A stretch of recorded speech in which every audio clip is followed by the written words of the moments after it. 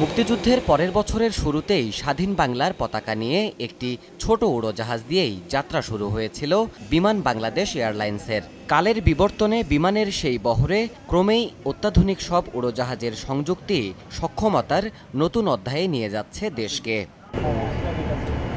দীর্ঘমেয়াদী পরিকল্পনার অংশ হিসেবে বুধবার বিমানের বহরে যোগ হল এভিয়েশন জগতের অত্যাধুনিক প্রযুক্তি সম্বলিত Boeing Dreamliner seven eight seven বা আকাশবিনা যুক্তরাষ্ট্রের বিমান নির্মাতা প্রতিষ্ঠান বোয়িংয়ের তৈরি চতুর্থ প্রজন্মের এই উড়োজাহাজটি টানা ষোলো ঘণ্টা উঠতে সক্ষম। ঘন্টায় ছয়শো পঞ্চাশ মাইল গতিবেগের দুইশো একাত্তর আসন বিশিষ্ট জ্বালানি সাশ্রয়ী এই যানে তেতাল্লিশ হাজার ফুট উচ্চতায় মিলবে ওয়াইফাইয়ের মাধ্যমে ইন্টারনেট ব্যবহারের সুবিধা।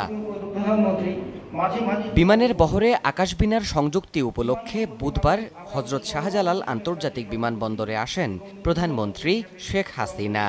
উদ্বোধন ঘোষণা করেন ড্রিমলাইনার সেভেন এইট সেভেনের বাণিজ্যিক যাত্রার। আকাশ বিনার শুভ উদ্বোধন ঘোষণা করছি। উদ্বোধনী অনুষ্ঠানে প্রধানমন্ত্রী এই খাতের উন্নয়নে নেয়া বিভিন্ন পরিকল্পনা তুলে ধরে বলেন হজরত শাহজালাল আন্তর্জাতিক বিমানবন্দরের তৃতীয় টার্মিনাল নির্মাণ কাজ শিগগিরই শুরু হবে। আমাদের ভৌগোলিক অবস্থানটা এমন জায়গায় আমরা ইন্টারন্যাশনাল এয়ার রুটের মাঝে আছি।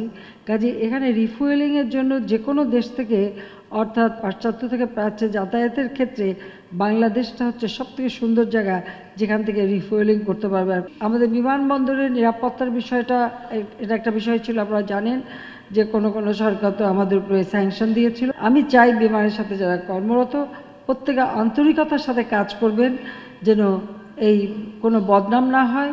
গণতান্ত্রিক ধারা বজায় রেখে আন্তরিকতার সাথে কাজ করলে দেশের উন্নয়ন নিশ্চিত হয় আওয়ামী লীগ তা প্রমাণ করেছে বলেও উল্লেখ করেন শেখ হাসিনা।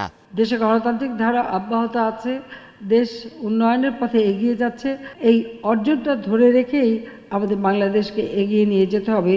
উদ্বোধনের পর আকাশবিনা বুধবার বাণিজ্যিক যাত্রায় আকাশে ডানা মেলবে মালয়েশিয়ার উদ্দেশ্যে। ঊর্ধ্বতন কর্মকর্তাদের নিয়ে বিমানটি পরিদর্শন করেন প্রধানমন্ত্রী। সম্প্রতি চতুর্থ প্রজন্মের এমন অত্যাধুনিক প্রযুক্তির বিমান বহরে যুক্ত হওয়ার ফলে এই বিমান বাংলাদেশ এখন বিশ্ব পরিমণ্ডলে পরিচিত পাবে আধুনিক একটি এয়ারলাইন্স হিসেবে।